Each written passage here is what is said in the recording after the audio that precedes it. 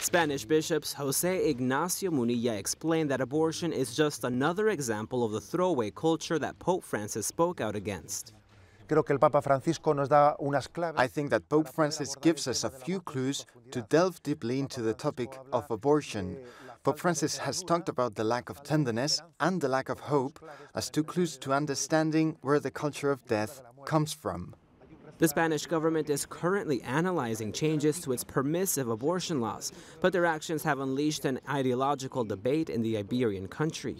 Monsignor Munilla contributed to the debate with a pastoral letter that refutes the arguments politicians and lobby groups use to defend the practice in Spain.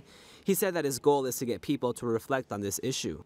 He querido coger una serie de I wanted to take a series of misinterpretations being communicated, and I wanted to give them context to help people think, to help them debate this issue, because I think that as Christians we are called to reason through our faith.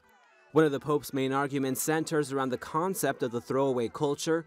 He described it as a costly way of living that makes no room for the weakest, like the elderly, the sick, and the most vulnerable, like the unborn. Curiosamente, el Evangelii Gaudium In Evangelii Gaudium, Pope Francis talks about abortion in a chapter that deals with the new types of social poverty. It's a new type of poverty not only because of the vulnerability of the unborn, but because it affects women who are without a doubt the second victims of abortion. Pope Francis did not hide his concern with the current situation in Spain and other countries debating this topic. On February 28th, while meeting with the Pontifical Commission for Latin America, the Pope said he was shocked to hear that in Spain, some 110,000 abortions take place each year, or about 300 per day.